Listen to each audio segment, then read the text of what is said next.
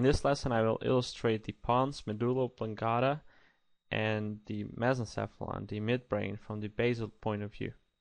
First I illustrated the medulla oblongata. It means the extended spinal cord in Latin. Here it is.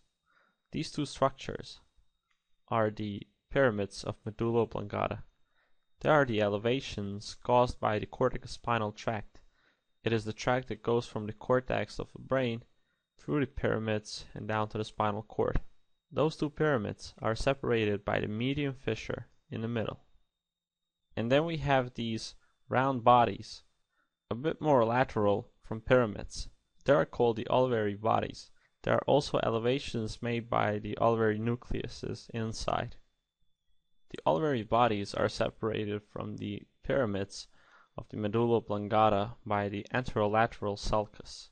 So this sulcus over here and over there was the anterolateral sulcus. And this was the median fissure. Then comes the pons. In Latin it means the bridge. This part was the pons and here is the border to the medulla oblongata. After I Photoshop it a little bit, this is how it looks like. On the basal side of the pons, there is not much to see. These structures over here are the peduncles that connect the pons to the cerebellum. Cerebellum is supposed to be behind over here, but I did not illustrate it in this image. One more thing, this here is the basilar sulcus. It is called like that because the basilar artery goes here. The artery is called like that because it's on the basal side of the pons. Then comes the mesencephalon, the midbrain. It has two structures, here and here. They are called the cerebral crus.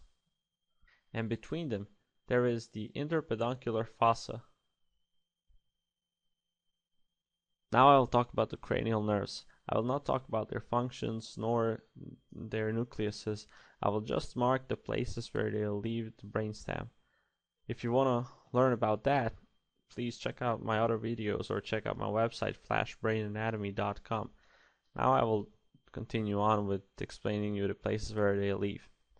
We can find one nerve over here in the interpeduncular fossa.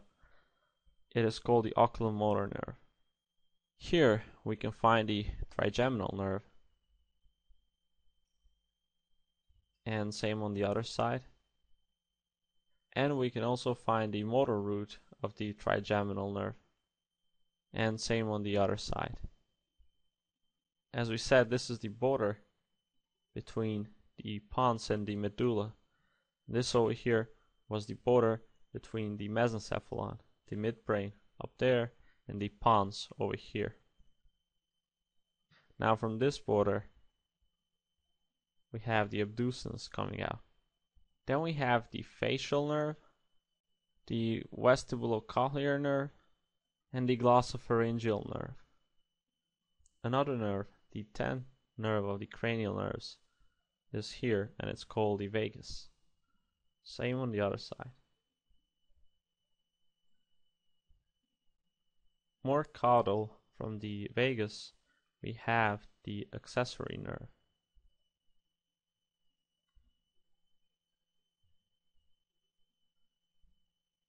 Coming from the anterolateral sulcus, that means between the olivary body and the pyramid, is the hypoglossal nerve. And at the end, I want to show you one more thing. Let's remember the borders.